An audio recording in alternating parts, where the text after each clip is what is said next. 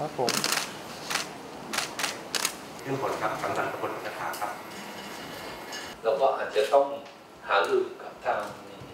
สบคชุดใหญ่ว่าเป็นไปได้ไหมเราจะใช้เหมือนลักษณะของทางมาเลเซียก็คือเป็นทั้งหมดที่สองเมษายนเนี่ยติดตามเรื่องรอบหนึ่งนะครับแล้วก็เอ่ออะไรที่เป็นภารกิจที่จังหวัดเนี่ยจะต้องเสริมหน่วยงานต่างๆ ซึ่งสักครู่ จะรบกวนให้ตมอ นุญาตไปครับ ก็คือจากควบคุมโรคของประเทศนะครับ จะจะตรวจคัดกรองในส่วนของไทยแลนด์พาร์ครับในแพทย์ปรับบนดีเจนเฟนรองในแพทย์การสุขจังหวัดตราดนะครับเอ่อคุณปานทิพย์นะครับซึ่งโดย RT-PCR นะครับ แล้วก็ผู้เสียชีวิตไม่เกินร้อยคนตรงนี้เนี่ยก็จะนำเข้าพิจารณาแล้วก็น่าจะมีการ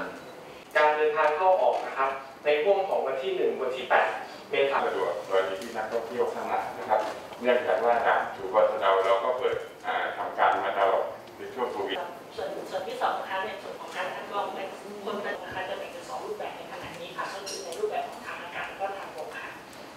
ค่ะสำหรับขั้นตอนของการเรื่องเรื่องก็ต้องตรวจ ATK ตรงนี้เนี่ยผมคิดว่าไอ้เรื่องการแต่เชื่อเถอะหมดมันล็อกหมดนะ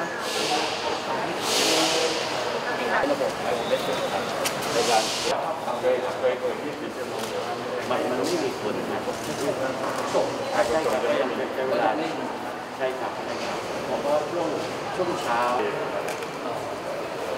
ของท่านเพระเขามีเทคนิคตรวจกองแล้วก็ผิดกฎหมายจากมาเลเซียเดี๋ยวนี้ก็คงไม่มีแต่ว่าก็มันเออแล้วก็ทำให้มันรอบครอบที่สุด ครับแล้วก็ขึ้นรถตามที่โรงแรมมารับรถก็ต้องมารอพฤษภาซึ่มันจะปลดล็อกถ้าเราปลดล็อกมันที่หนึ่งที่สี่เลยใกล้มาทำการหาลือกันในเรื่องของจุดผ่านแดนที่อำเภอสะดาวที่ด่านนอกนะครับ ดูถึงความสะดวกความคล่องตัวว่า ถ้าหากหลังจากนี้เนี่ยในขณะนี้ยังมีนักท่องเที่ยวชาวมาเลเซียเข้ามาก็ยังน้อยอยู่นะฮะก็เฉลี่ยสักวันหนึ่งประมาณสัก 100 คน เป็นกังวลก็คือค่าใช้จ่ายที่ยังสูงอยู่ก็คือการ RT RT-PCR ขั้นตอนที่หนึ่งแล้วค่าประกันขั้นตอนที่ 2 แล้วก็การที่จะต้องจองโรงแรมอีกหนึ่งคืนนะครับในวันที่ 1 พฤษภาคม เราก็จะยกเลิก RT-PCR ครั้งแรกนะครับ โดยจะเป็น ATK โดยเป็น Professional ATK แทนเนี้ยค่าใช้จ่ายตรงนี้ก็คงจะลดลงไป ท่านนายกก็มีนโยบายว่าเราจะมีการประชุมกันอีกครั้งหนึ่ง ในวันที่ 22 เมษายนคือหลังจากเทศกาลสงการ เพื่อจะดูการกระเพื่อมของช่วงเทศกาลสงการว่าอยู่ในการในเทศกาลสงการนี้การกระเพื่อมของโควิด 19 สายพันธุ์โอไมครอนนะครับว่ามีการกระเพื่อมมากน้อยขนาดไหน ถ้าหากว่าไม่มีการกระเพื่อมมาก ก็จะนำเสนอว่า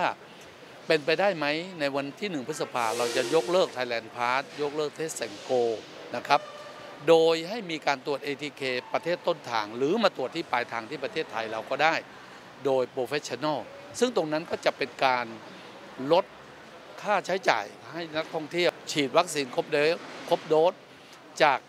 มาเลเซียเข้าไทยเราไม่ต้องประกัน หรือ